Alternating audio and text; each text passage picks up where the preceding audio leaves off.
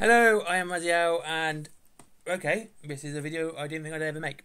Uh, so, uh, what I'm going to epic, epic is going to be a weird one. This is a bizarre video. I'm, I'm not even joking.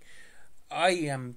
I'll tell you what, this is my fourth take on this video, and I'm still blown away I'm trying to wrap my head around this. And okay, let's start from the beginning. The big box, we know the price now. It's 120 quid.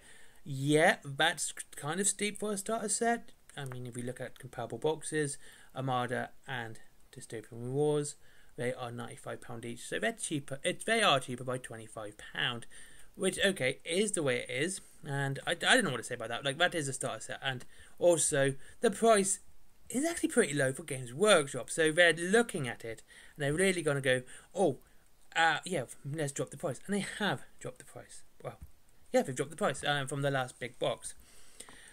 So, what I wanted to talk about as well was the reboxing, the rebranding of things like the Titanica stuff, the Aeronautica stuff.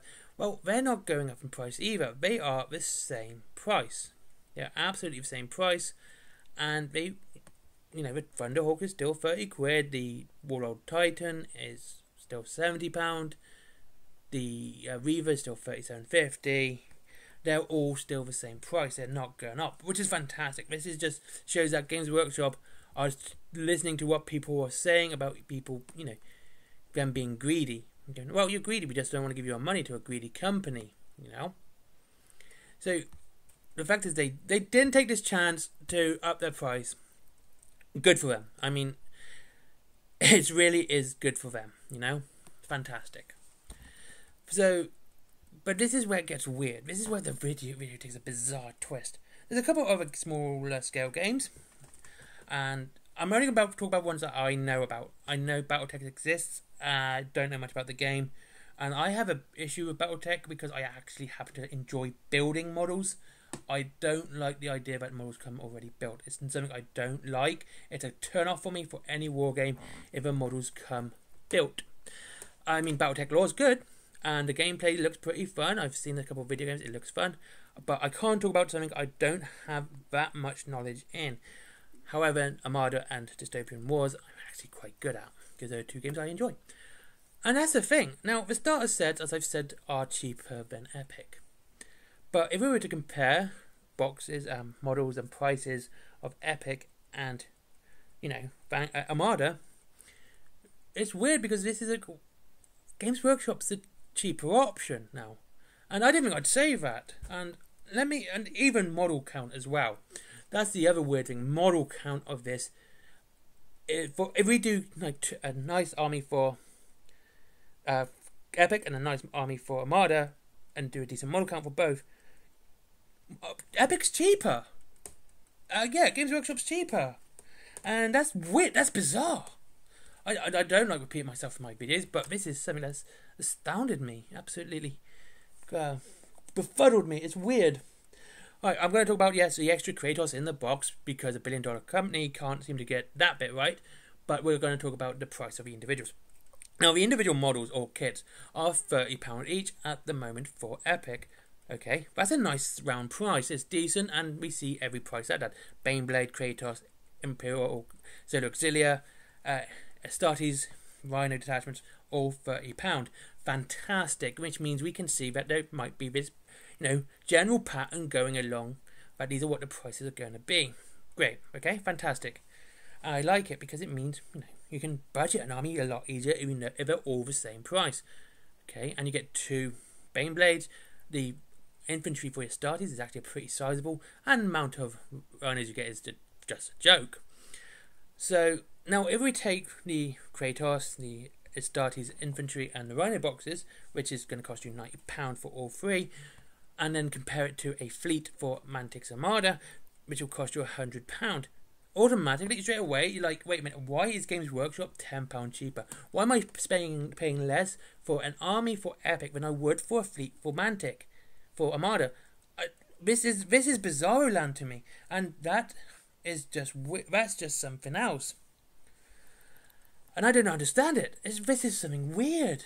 Now, with Dystopian Wars, for, you know, we got cover you're going to spend about £85 top end for a fleet for Vemma for Dystopian Wars. So yeah, so it's right in the middle there. It's on the same sort of budget line as Dystopian Wars, and it's something else. It's really weird. I, I, I like I said, I'm absolutely confused. This is this is Bizarro world right now. You know, Warpath's dropping next week, next year, I should say.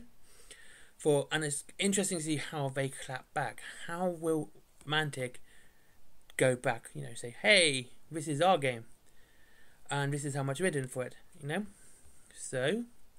But let's continue talking about Epic and how it's weirdly priced. Like I said, everything's going to be 30 quid, okay? We've got, which is fantastic. So if you want a decent start army, uh, let's say you're doing starties, it's going to cost you £210 if you get the box too. But even then, you don't have to because you can get pretty much the box plus the uh, rulebook. Do they have a rulebook here? Uh, no, they haven't got the rulebook individually priced. And so it's going to cost you about, you know, about £120 to £130 for the army you want, which is fantastic. I'm just going on what the usual cost of the book is, plus the cards, which is about 10 15 quid. So fantastic. It's just really good. And I think a lot of this may be Games Workshop realizing they actually do have competition. Now, I know people go, oh, Games Workshop don't have competition. They're too big to fail. They're too big to have competition. They're so big and popular.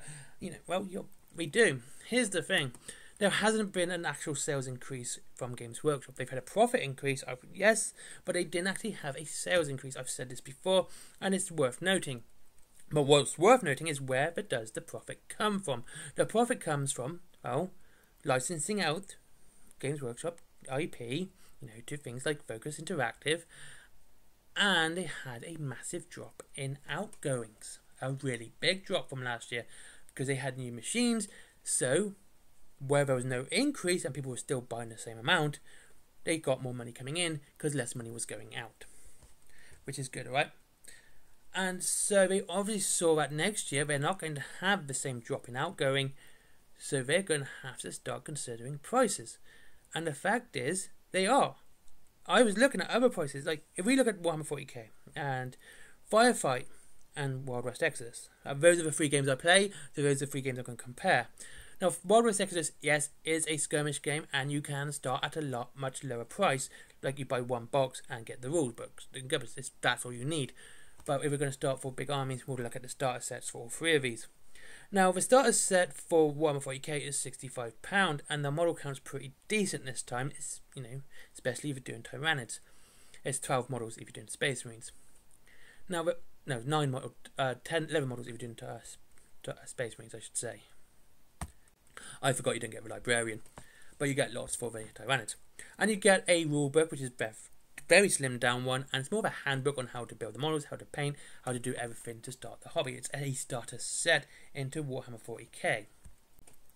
The next box is Wild West Exodus. You get a lot more models. Uh, you get vehicles as well. You get bikes.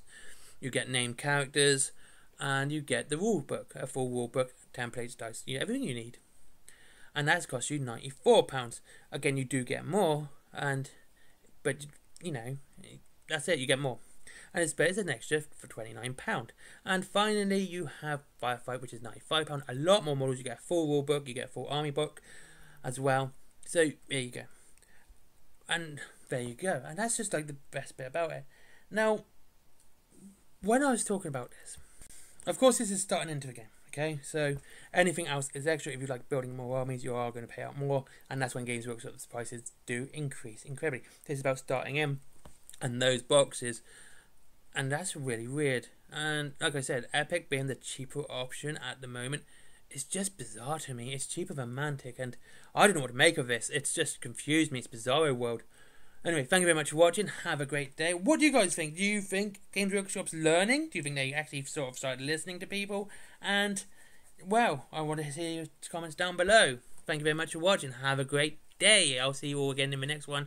Wayland Games link down below if you wish to save up to 20% on your Warhammer and other games. Like if you want to try romantic games, try them out. And free delivery after 20 quid. There is Forbidden Planet as well.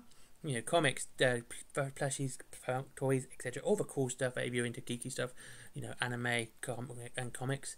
down below as well. There is my comic, which is about Red Riding Hood taking on werewolves and cyborg werewolves and Lovecraftian monsters with a big axe, and her friend Raziel. Yeah, uh, it's not a self-insert. I promise you that. I just happen to like the name, and he's been an old character of mine for years. He's actually be artwork in this, by the way. You see him in the corner, and this red and little red is in the other corner. Okay.